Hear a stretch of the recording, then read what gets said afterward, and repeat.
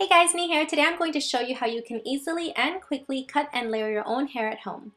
Now if you're looking to cut your hair in a particular style then it's best to go to a hairstylist but this method is great if you want to get rid of some split ends, remove some length, and add fresh layers to your hair. So if you want to learn how to do this then keep on watching.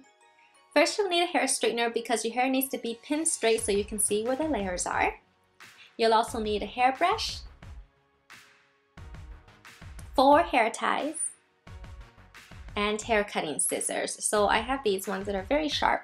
And if you want, you can also get some thinning scissors that look like this. They basically have teeth on one end and a sharp blade on the other. And I'll link all these things in the video description below. Before you start cutting, you want to gather your hair into a high ponytail and tie it at the top of your head. Now from my experience, I noticed that where you position the ponytail is quite important because if you position it right at the top of your head near the front of your face like what I'm doing here, you're going to get more layers in the front and less at the back so you keep more of your length. But if you move your ponytail closer to the back of your head, you're going to get more layers at the back. Grab a second hair tie and tie it right where your chin is. This is just going to keep the hair all in place so that it remains straight. And with the third hair tie, you want to tie it where you're going to cut it off. So since I'm going to get rid of some length today, I'm going to tie it 4 inches from the tip. You want to save an extra inch for the feathering part, so if you want to get rid of 5 inches of hair, tie your hair at 4 inches like what I'm doing here. Next, grab a pair of scissors and just cut the ponytail off. As you can see, all the split ends are basically gone at this point since I got rid of them. And now you just have a blunt cut. Next, remove the hair tie and divide your hair into three equal sections. Depending on how thick your hair is, you might need to divide it into four sections because we're basically going to work with one section at a time. After you divide your ponytail, tie each of them separately so that they don't get mixed up.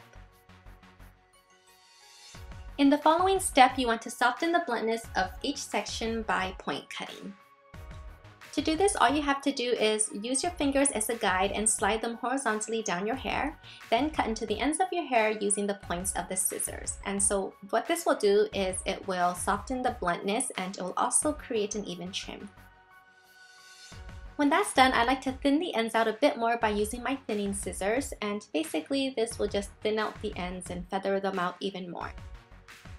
Move on to the next section of hair and repeat. So point cut and then thin out the ends. Now if you don't have those thinning scissors, no worries, you can just use the point cutting technique.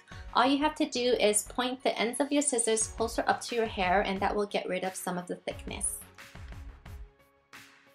If you want all your layers to look soft and feathered at the end, you want to point cut into your hair even higher than what I'm doing. And I did this last time. If you look at my before picture, the ends were very feathered and it was drying out a bit. So this time I'm just going to point cut it a bit so that it looks thicker and fuller.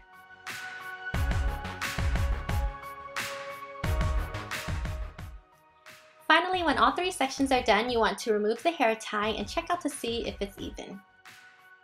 If you see some strands that are longer, just grab your scissors and continue to point cut.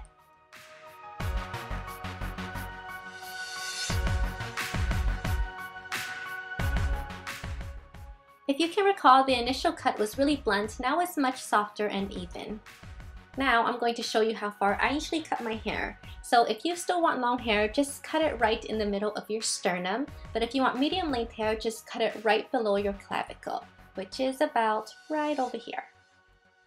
I think this method of cutting hair is pretty foolproof, so if you want to, just experiment by cutting your hair a bit more. You can always release it to see if it's long or short, and then you can always tie it up again.